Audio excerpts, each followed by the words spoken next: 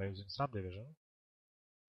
And it's about you just create some shape like a square, which is uh, on some mesh, and if you put around uh, edges, you tell Max how he should smooth that. So if I put this closer, it should smooth uh, less, so that should be sharp.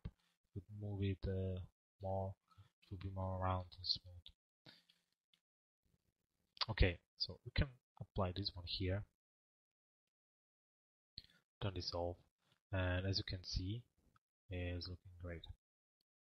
Okay, everything smooth like it should be, and very nice. So the top, which wasn't uh, any edge or let's say just the two edges, making the poly uh, all around without any chamfer around. I could fix that by connecting again other stuff. I will not do that, of course. Uh, but uh, we could. It's good to know we could.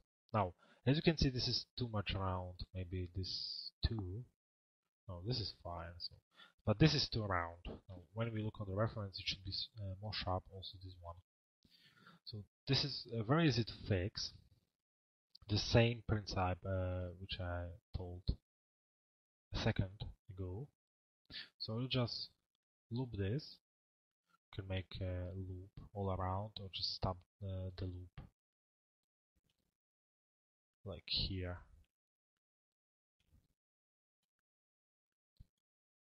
And we'll do a chamfer. Now we'll do a chamfer. Like this.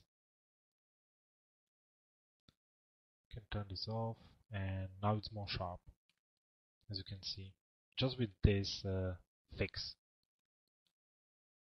Okay uh, let's try to apply the FFD like before now.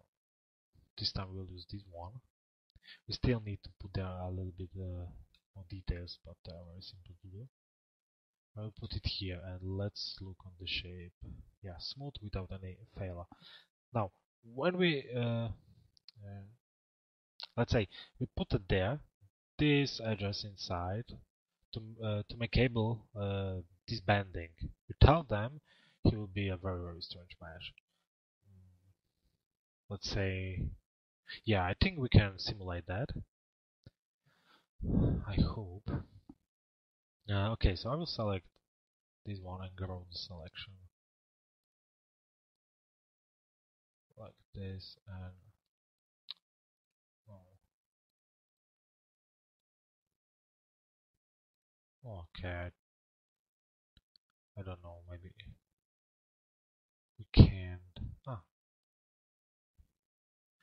I, just wanted to delete the polys inside, but surely just this are missing, I think. So I need to shrink them until here, yeah. I think, no, one more. Now, this is the shape before, before we started. Okay, let's go to front and I'll just select everything I need. I'll ch check this one and just draw the selection. I hope the under will be working up to, or I will have a big problem. So I will just press delete, select the border, cap it, apply. Now everything looks fine. I'll try FFD. Oops, control points select them and forward. And you see what is happening there. Now it's because how Max is simulating uh, the subdivision, putting there more and more edges. And this we avoided making the inside shape a few more like this. So now we know uh, why we did that. Now we can now put there more and more uh, details like here on the edge, make it different and stuff like that, but we will not do that. We'll just make the bolts here, similar technique like before. So just create here a sphere, big like this, maybe a little bit smaller. Let's say, just like this. Autogrid is checked, so I can go to the left view, convert this to poly, rename it to shield 2 and bolt. Ah, no. And I will delete again the same uh, I will delete this and just make here a slight slightly small detail. Because I, I, don't like when people make I saw these ones well, I mean more times but the last time I saw it like a week ago someone was doing uh, like a tutorial like actually I have no idea how the word is in English it's like the star way put the computer plug or something. And he was on everything using Boolean now. I really hate Boolean if you saw some tutorials.